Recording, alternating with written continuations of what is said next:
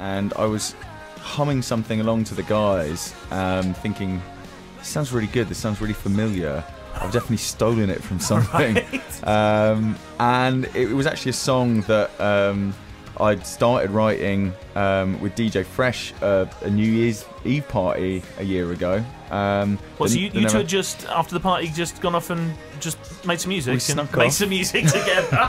some sweet, sweet music. No, we um, it was it was it was sort of you know four o'clock in the morning, party's winding down. Um, it was Happens out. to be a piano nearby. or something. Yeah, well, we- yes, that's what you want. We were at our mate Dan um, Lancaster's house, who produced our last album and did a lot of work with us on this album. Mm-hmm. You know, the party wasn't really happening. We thought, okay, let's just see what happens and jam something. And um, yeah, it turned into this really cool song. Um, it was very. If we do say so ourselves.